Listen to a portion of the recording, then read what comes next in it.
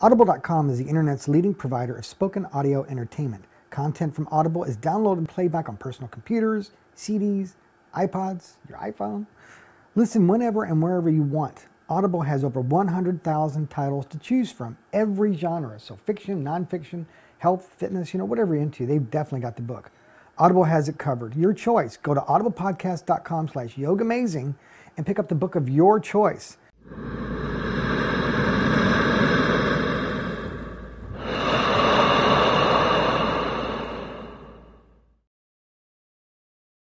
Welcome, everyone, to this edition of the Yogamazing Video Podcast. I am Chaz. I am your host, and welcome back.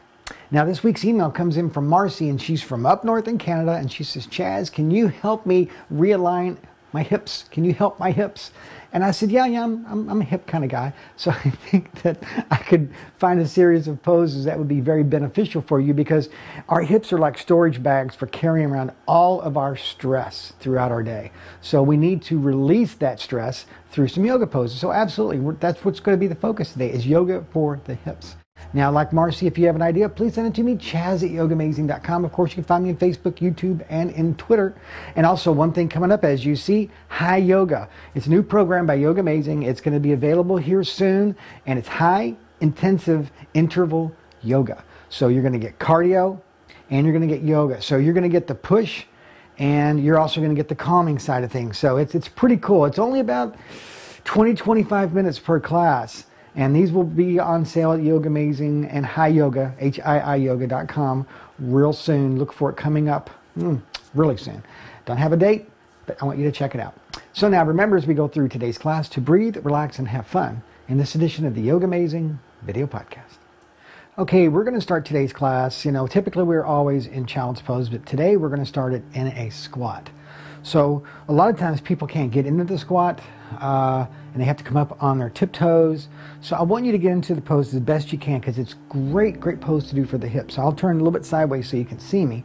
So the best way to get into this is not just go down. You want to stick your bottom way back and you're going to sit deep into it, okay? And then you're going to open up the feet and then you're going to drop it down. And then you're going to push the, bring the hands into prayer and push the uh, arms into the legs and push the legs into the arms. Now I want you to stay here and breathe. Just hang out with it. Just use this as your time to get in focus with the breath.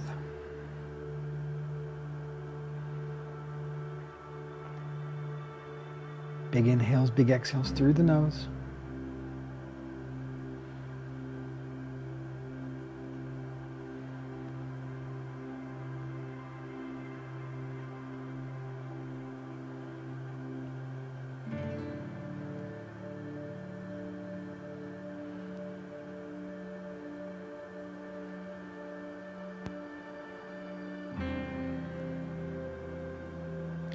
Slowly release. And we're going to come down to our knees.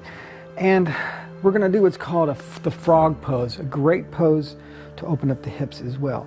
So you're going to come down onto your mat.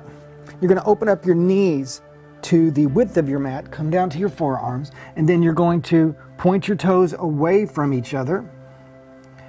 And then you're going to sit it in here and make sure you're making sure that you're Toes are pointing in opposite directions. And again, just another great pose.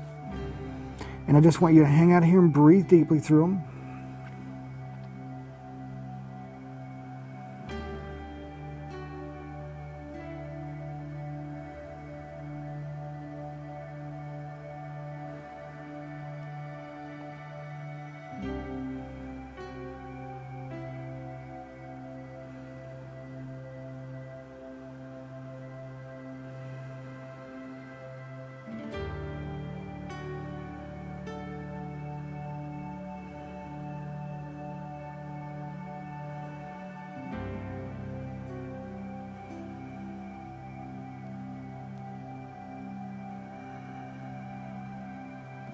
And then slowly release. From here, we're going to sit on our bottoms, get into a few other poses. Of course, we're all used to this one, the butterfly. We have a lot of poses we're going to do sitting on the floor, and then we also have a lot of poses that we're going to do standing up as well. So figured that we could just start here since we were on the floor. And we'll probably come back down and do some repetitions of these a little later as well. So from here, you want to peel the feet apart like you're opening up a book, making sure that your little toes to your heels touch. And your, your um, knees may not be down as far as mine. Uh, they could be up higher, but I don't want you to uh, round and the back and shoulders coming up around your ears. Draw the shoulder blades down the back, peel the feet away, and just, as I always say, just go where you can go with the pose. That's all you need to worry about. It's not where I am, it's where you are.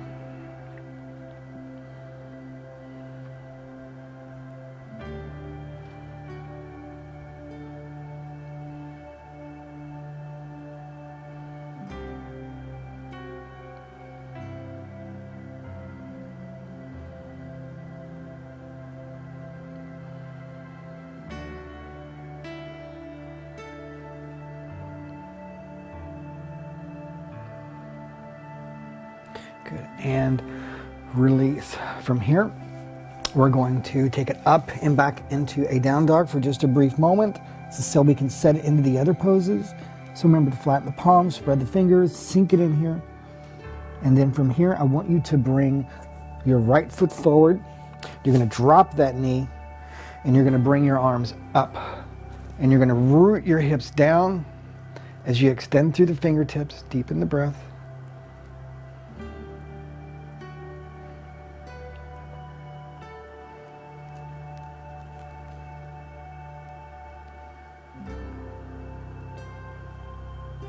And then you're going to take the hands down to the floor, dropping that leg open now, okay?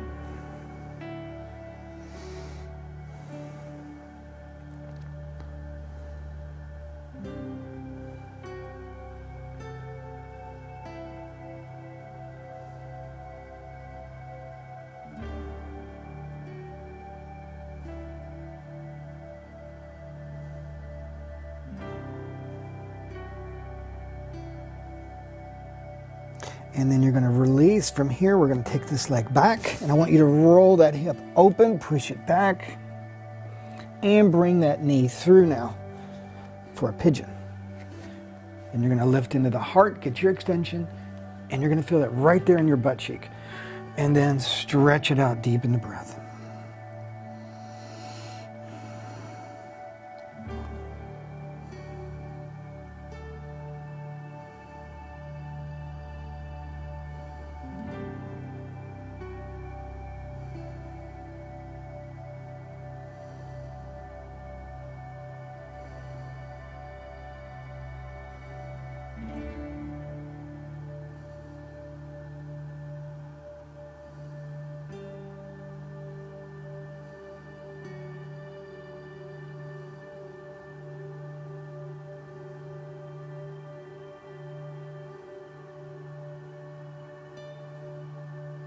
And then slowly release. Take it back to a down dog. Bend the knees, push it back, sink it in. And let's bring the other foot forward. Again, bring it into a knee down lunge. And arms up. Root the hips, extend through the fingers, soften the gaze, deepen the breath.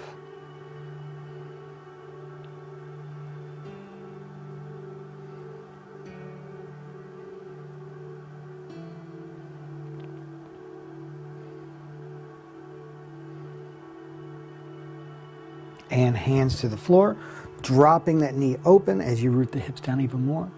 Deepen the breath.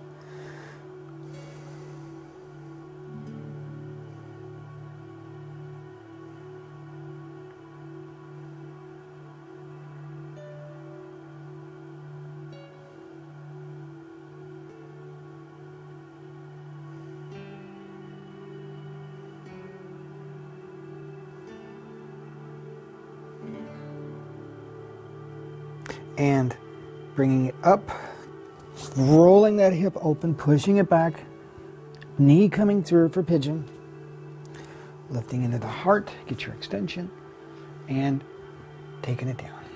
Now, if you want to lay it all the way out on the floor for any of these poses, you're more than welcome to. Deepen the breath.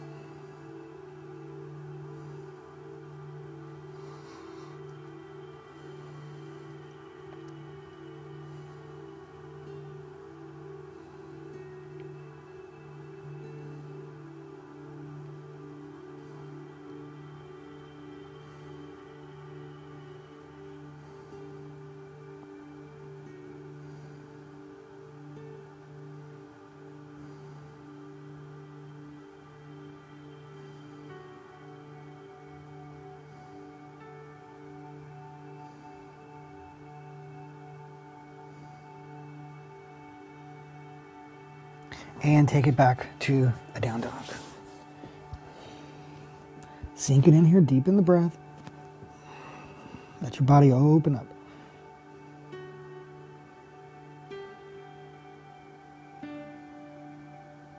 And I want you to walk your palms back. And then again, I want you just to take it back into a squat where we started. And just stay here for a few moments before we bring it up.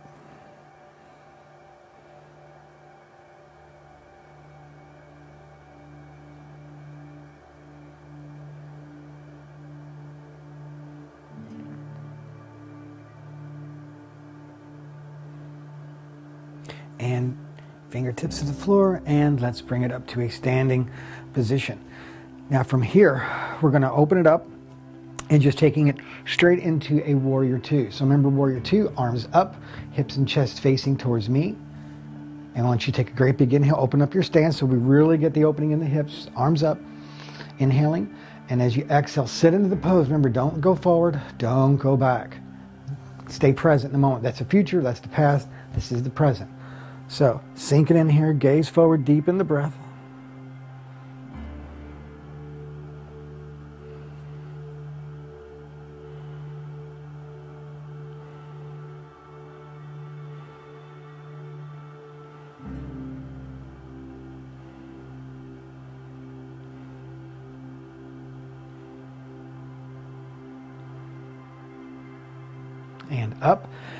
Hands to the hips, feet forward, begin to lift into the heart. And as you exhale, taking it down and sink.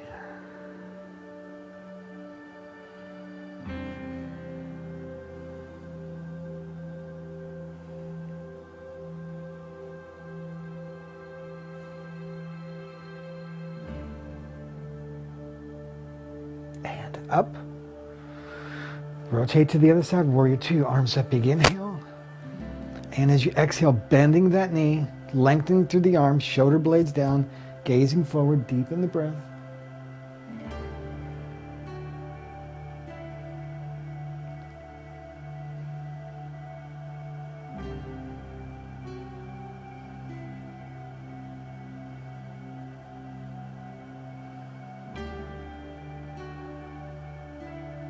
and release. Back to the center, hands to the hips, lifting the heart. Inhaling, and as you exhale, take it down.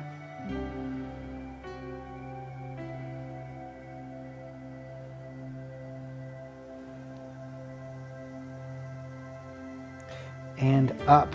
Now we're going to take it into a warrior one lunge position. So bring it up, get your balance, knee over ankle, and extend through the arms, firming up this back leg, squeezing your boot, your glute, your booty, whatever you want to and squeeze and lengthen through the fingers deep in the breath.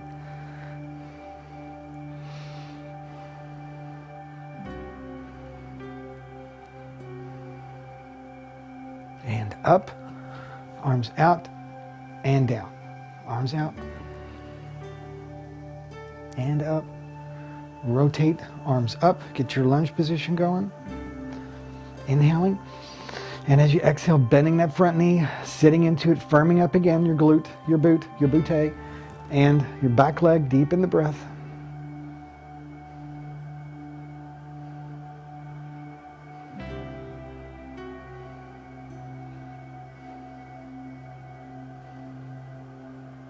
Release up, feet forward, and look, taking it down and bringing it up. Hands to the hips, wiggle your feet in, coming in. Now we're going to be doing a chair pose uh, that's going to also work into our hips. How, and you're like, how are you going to do the chair pose? Because everybody knows the chair pose. Okay. Now we're going to add something to it that's going to work the hips. So we're going to cross the, bring the right leg up, or whichever leg you want, and you're going to bring that up to this position, crossing it over. Think of this as a standing pigeon, and then we're going to bring it up and then sit into it as you push that knee to the floor, reach with your arms, deepen the breath. Nice little balanced hip pose here.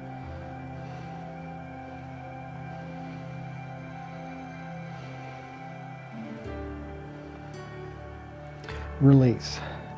Let's rotate to the other side. It's the same thing. We're going to cross the other leg up and over. Get your balance, bring it up, and you're going to sit into it. Deepen the breath.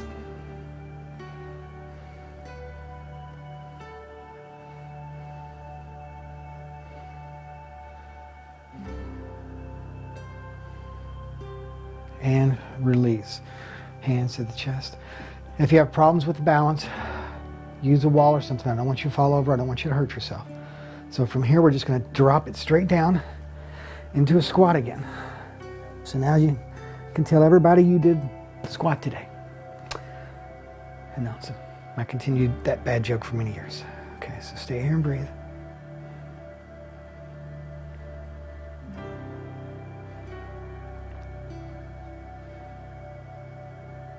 And release. Come down to the floor. And you're going to do, you're going to take, you're going to point your knees towards me. And you're going to cross right at your knees. Now, you may not be as flexible just yet for this. Great pose for the hips. So you want both knees pointing forward. And your hips, you may not be as close as this, uh, but just do as best as you can, making sure you can see my knees, how they're in alignment. I know I'm on the black mat, so that's why I want to make sure I pulled the pants up a little bit so you can see the knees. So then we're going to take the arms, cross them right over left, lift, and then pull. So you also get a little bit in the shoulders as well with this. So stay here and deepen the breath.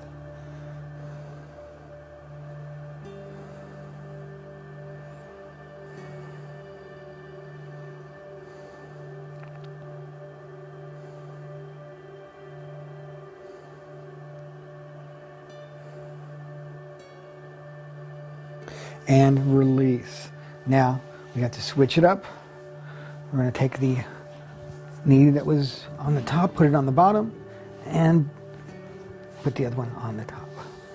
So crossing it up, crossing the arms over again the other way, and pull it down.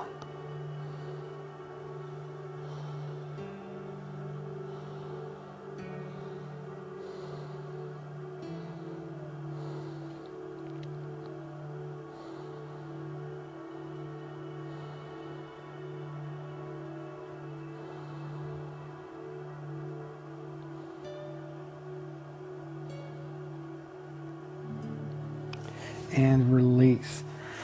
From here, we're going to bring it to lying on our back, bringing our feet together for reclined butterfly pose. Stay here for a few moments, a few more poses, and then we're done.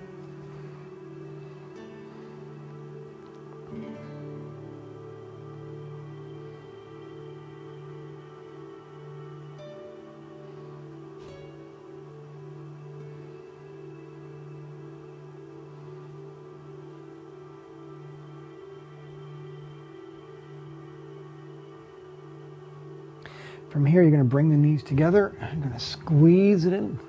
Now, from here, we're going to do, uh, we're going to grab our feet and we're just going to pull down. A lot of people call this the baby pose or the, uh, the bug pose. So, whichever one you want to call it. But work on getting those shins vertical, deep in the breath. Really, you can feel this within your hips for sure. Just really pull it down, deep in the breath.